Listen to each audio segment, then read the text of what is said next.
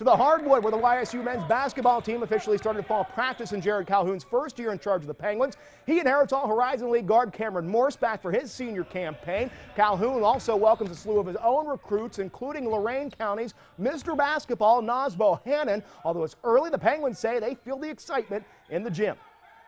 Last night was kind of like uh, Christmas for me, the night before Christmas. You know, I've been dreaming of this opportunity for a long, long time to be a Division One head coach. Uh, it's a dream come true. I thought it was a great day. I thought we had a great first practice. We all been waiting for this day since we got here in June, and it's finally got here. And today, coach was like, "We're going to go three hours." So normally guys would be like, "Ah, three hours, I dread it," but everybody got up. We were ready to go, and I love it because the intensity is like at the highest level it can be.